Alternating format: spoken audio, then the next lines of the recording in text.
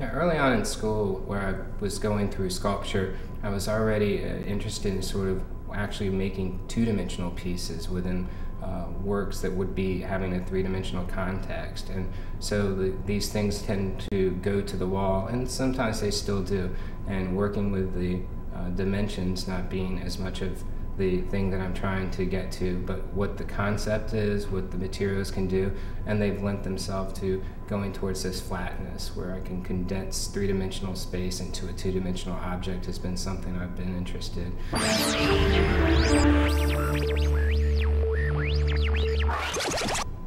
Previously, in a lot of my work, I was using uh, sort of amounts of materials where I was taking commonplace materials and putting them through a laborious process that with its repetition could uh, become about the mass. And I was interested in taking uh, different medium, and one of the things that uh, has been used a lot in this series is light, and sort of working with light as this abundance in itself and what the medium can do in terms of connecting with the viewer.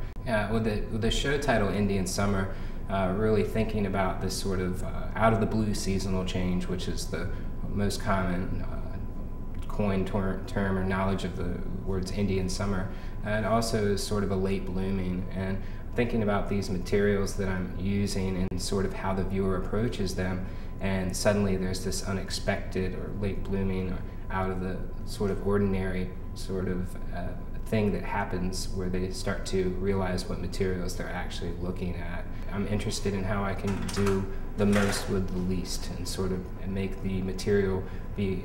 in a number where it's not about its number and at the same time it's not an issue if there there is a hundred or a thousand where the, the material just fits the best with its concept particularly to the image of nature. And that's where I'm most interested right now is still constructing these images of nature that are most sort of iconic images like moons and mountains and sunsets so that, that the viewer can really connect to the materials from these imagery that they really actually have seen as nature and then start to really think about the word nature. I think my major objective right now is to really sort of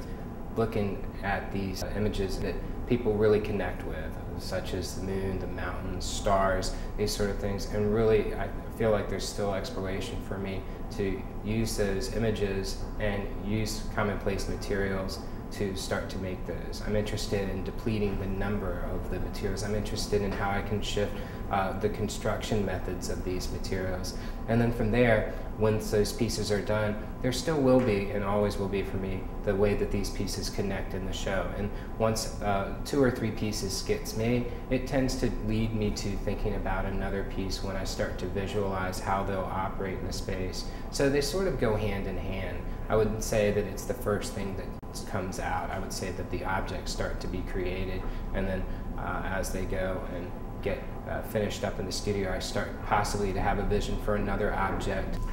When I'm working, it could start with a material, uh, finding the material, and do a lot of looking while I'm shopping, basically, or shopping while I'm looking. And it's just kind of going through stores and places and uh, maybe picking something up and taking a look at it and see what we can do. Other times, uh, the material could fall into my hand. Uh, the materials that I use, the history of the material, what the material is, can have levels that really sort of connect to the work and connect to the concept. For instance, in 101 with the dice here, the dice which are uh, gambling dice, casino dice, uh, but have that sort of connotation of something that uh, certain uh, different religions and people will consider just sort of uh, evil. What you're getting is this sort of fireball, this sort of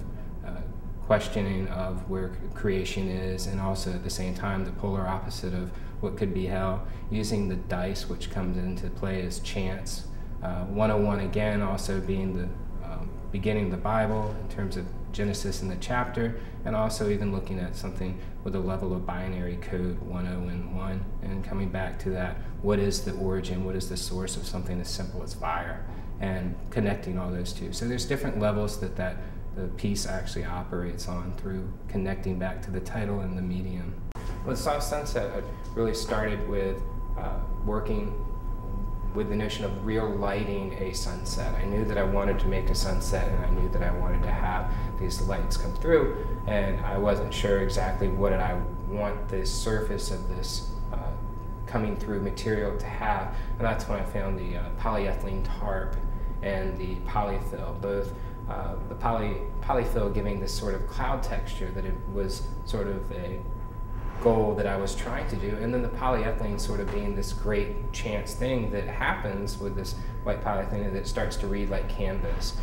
So I started thinking about how I could treat this thing uh, with the way I position this polyfill to start to uh, have references along with the colors as well, working with those to the history of painting, of imagery such as Rothko's and Hudson River School and these different uh, the luminous, the way that this thing could speak a dialogue and start to deal with some references to art history, but in the end also have this sort of opening of these clouds where you're inside of them in a very sort of cinematic way, almost like the beginning or the end of a movie, uh, encompassing the viewer at a level that's not really uh, looking out at it, but being in it and looking through it. Yeah, one of the major influences on my work would be Marshall McLuhan's writing, particularly with his example of the television being the contemporary campfire. So both of them, we sit around and we get to hear stories, and at the same time, what we're really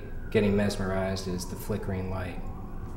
I think Sol LeWitt and what he did in terms of really starting out with is being coined conceptual art at its time uh, was really an important thing that has influenced my work, as well as the body of someone like Vito Acconci, where it might not come directly through my work. I'm really interested in how his work has evolved and seen in my own steps as I keep on moving into new work where it's going.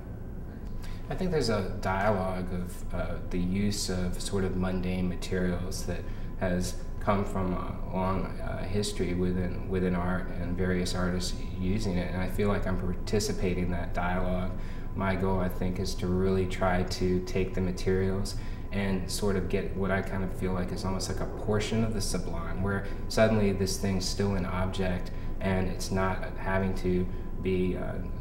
doing something uh, past its scale, it's allowing the viewer to start to get to that scale through the object itself. Right now I'm really interested in just working with the images of nature and I feel like there's still a lot for me to explore, but I'm very much open to working with other subject matter and when it comes along, a lot of times I'll have works on paper that I might do that I might not include in the show that were made around the same time as some of the pieces, uh, but they'll have something that might not be so nature specific in terms of the nature of uh, outside imagery that people would connect with. There might be something uh, dealing with some of my interest in uh, mathematics and numbers. There might be something uh, dealing almost with even the self and things that might even be around, such as something in the past I've done like a coin collection, where just things that are laying around where I can feel a little more uh, in, in a certain level loose with. Really, if we're all kind of interested in wanting this sort of longing for where people will be like, oh, I just want to be out in the woods. I just love going out to the mountains. Then we'd, we'd be living there, and we're not. So there's all these things that surround us in urban environments and uh, that, that are commonplace material that are just around us in our everyday life that really become the nature. Mm-hmm.